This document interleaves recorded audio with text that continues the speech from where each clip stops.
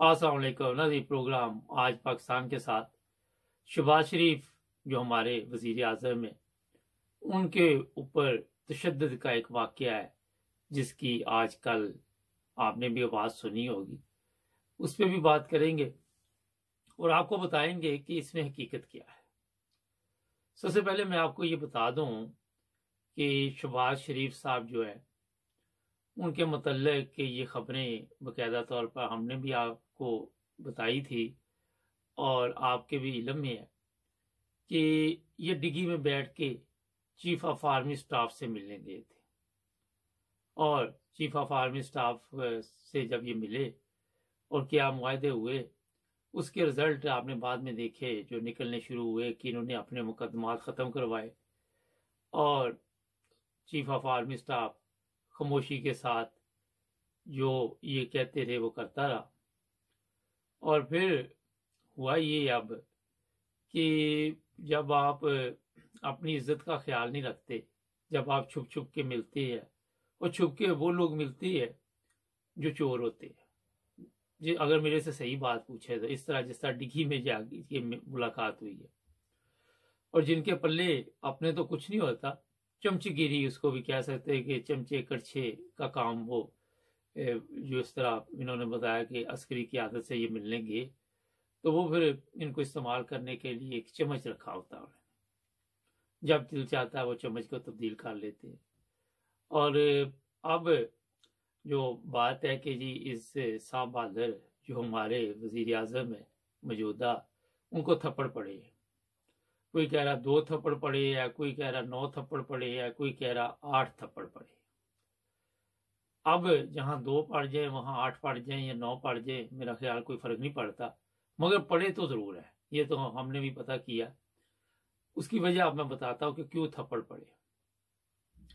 काफ़ी दिन से ये ड्रामा चल रहा था कि चीफ ऑफ़ आर्मी स्टाफ जो है, वो कौन होगा। इस पर अवाम भी परेशान थी और अवाम ये इंतज़ार कर रही थी कि जनाब कब ये ऐलान होता है कि नए चीफ ऑफ़ आर्मी स्टाफ कौन होंगे?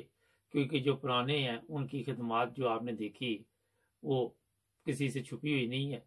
सोशल मीडिया पे भी उसके चर्चे हैं। खुद भी फौज के जो तर्जमान थे, उन्होंने बताया था कि गद्दार कहा जा रहा है। तो ज़ाहिर उन तक भी ये बात पहुँची होगी।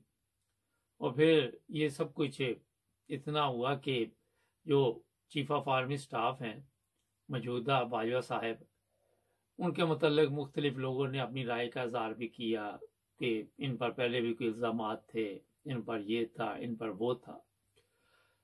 और ये इतना मसला बना हुआ है सोशल मीडिया पे कि अभी वो पेंशन पे नहीं गए जब जाएँगे तो अल्लाह बेहतर जानता फिर अवाम क्या इनके साथ सलूक करती है।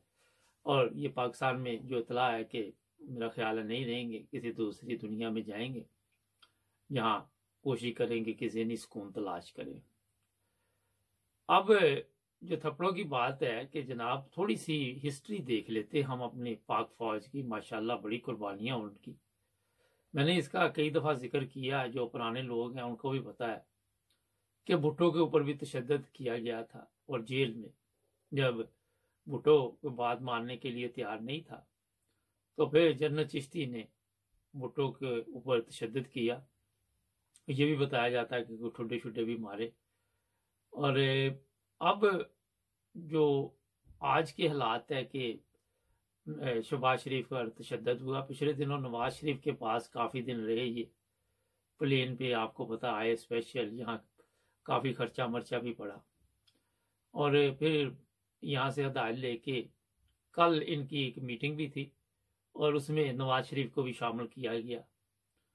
और भी इनके जो बड़े बड़े चोर थे, साथ बैठे, उन्होंने मीटिंग की और उसमें फैसला यही किया कि फलां बंदा चीफ ऑफ़ आर्मी स्टाफ होगा।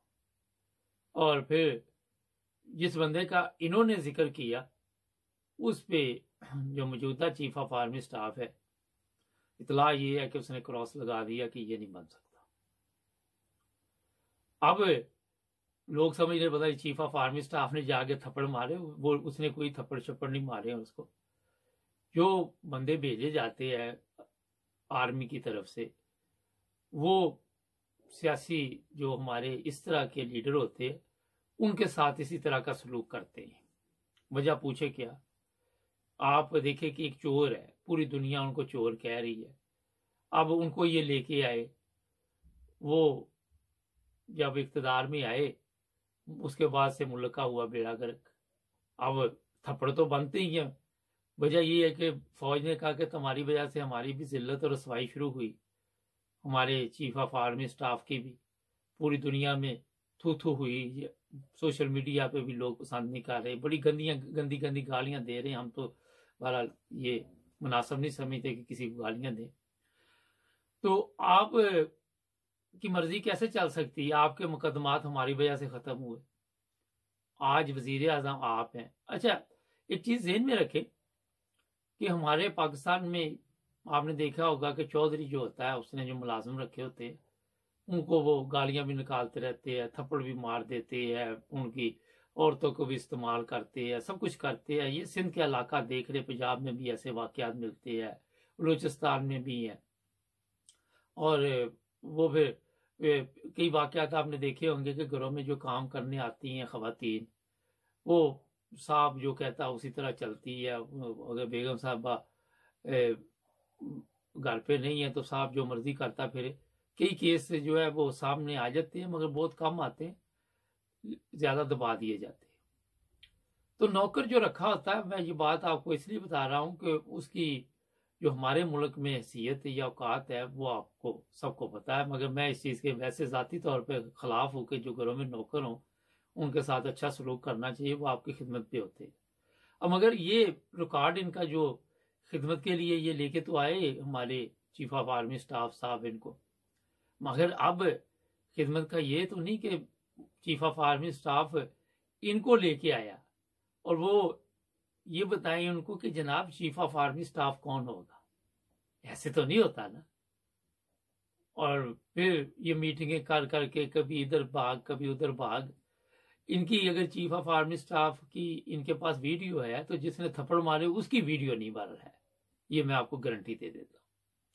और चीफ ऑफ़ आर्मी स्टाफ ने भेजा भी उसकी ही होगा कि आप जाएँ, जरा इसकी तबीयत साफ़ करके आए। वहाँ पे जो सामने बात आ रही है कि ये जिद पे अड़े रहे शहबाज शरीफ साहब, इनके जहन में था कि नवाज़ शरीफ बड़े भाई ने ये हुक्म दिया है, और जो हुक्म बड़े भाई ने दिया है, इंटरनेशनल मीडिया ने भी इस पे कुछ लिखा था उस वक्त, था आप सबने पढ़ा और बाद में कहा जी वो माफ़ी मांगे, कि इमरान खान पे भी अस्करी क्यादत की तरफ़ से सख्ती की गई जिस दिन इमरान खान से इकतदार छीन लिया गया।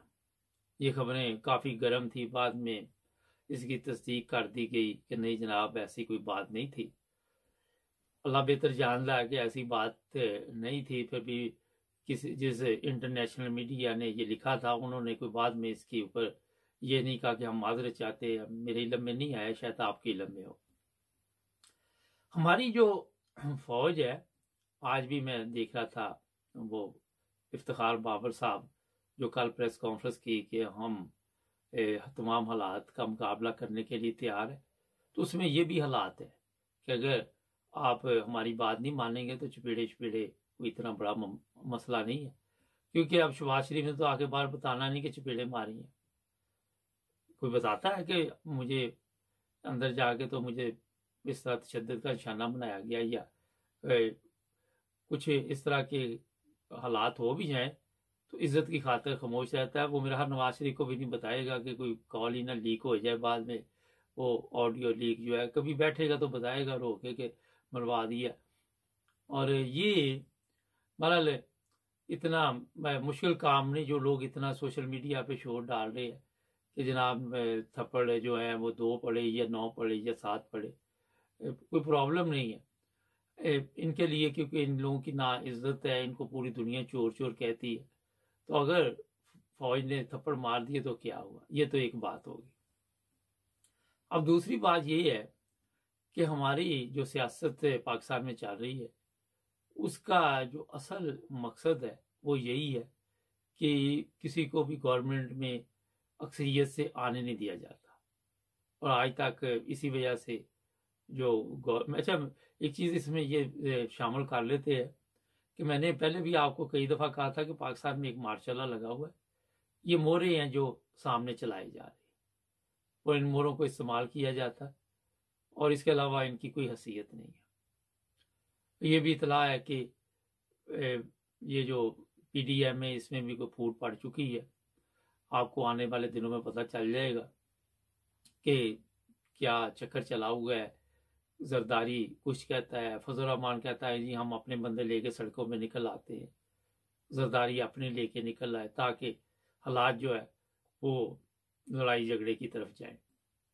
खैर तो ये जो कुछ भी आज पाकिस्तान में हो रहा है, हमारे जो इदारे हैं, आज भी इफ्तार साहब, जो कल प्रेस कॉन्फ्रेंस थी, बाबर इफ्तार वो कह रहे थे, जी आइनी इदारे जो हैं आइन के मुताबिक अदर कानून के मुताबिक चलना चाहिए, मगर किसी को नज़र तो नहीं आ रहा। पता नहीं, मुझे समझ नहीं आती कि कौन से आइन और के, कौन से कानून की आके ये बातें करते किसके भाषण देते हैं। खैर तो जनाब ये ताज़ा सूरत हाल अभी आपको मैंने बता दी। है बड़ा, एक और भी आज आजकल अफवाह चली हुई है, अगले अड़तालीस घंटे बड़े अहम है। मेरा ख्याल है कि हो सकता है अट्ठाईस तारीख को अगर कोई नया चीफ ऑफ़ आर्मी स्टाफ आया तो उसका ऐलान किया जाएगा। अगर ना आया तो फिर यही चलता रहेगा। तो जो अफवाहें हैं उनमें कोई ना कोई तो दम है। क्योंकि वो कोई बंदा भागा भागा आया ना तो, तो कहने लगा कि जनाब उन्होंने मुझे मारा है। तो एक पास दोस्त बैठा हुआ था उसने कहा किसी वजह से मारा होगा भाई? कि किसी के पास इतना टाइम कहाँ है कि बगैर वजह के किसी को मारना शुरू कर दे?